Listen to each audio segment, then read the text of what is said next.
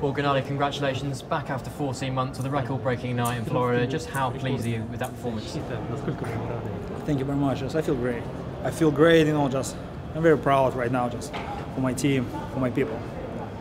You said that it's not just a it's not just a fight, but a fight with great meaning. Do you feel like the performance was reflective of that? I think my perfor- performance, you know, like so good. I can't more. Just I needed more time. I want to feel more comfortable, more, you know, just because I have long break, you know, just one year more.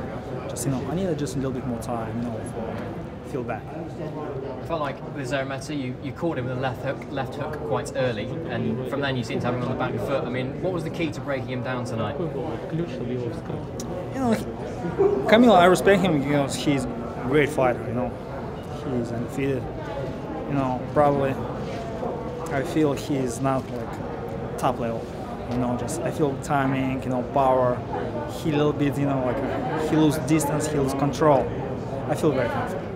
Were you surprised at how tough he was? I think we lost count of how many times you put him down, but were you surprised at how much he just kept coming back? You know, just I respect his his team. You know, very smart because you know he feel not so bad. You know, like uh, yeah, after last couple of rounds, he's so tight. You know, just it's very correct. You know, just respect his team. Very smart. Kept saying in the media interviews that you know you're going to expect the best Gennady Golovkin. You looked incredible at the weigh-in. People saying some of the best you've ever seen. But do you feel like you're entering a new phase? Absolutely, like, you know, step by step. Like this is my this is my small step for my legacy. You know, just I want to show next my fight more. And you want to keep making history. But what is the what is the key to kind of keeping that kind of fire alive in you? What have you unlocked in yourself?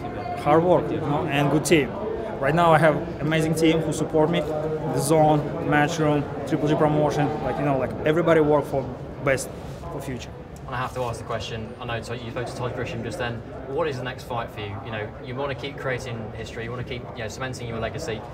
But everyone to see you in that big mega fight. And what do you want? Absolutely. No, right now maybe today we just maybe a little bit early. Like, maybe we have interview maybe like tomorrow because tomorrow we'll have a like big fight, you know, big event. Like I'm very proud, you know, who win. I'm very you know excited who win. You know, just I wanted these guys. Congratulations. Thank, Thank you so much. Thank you.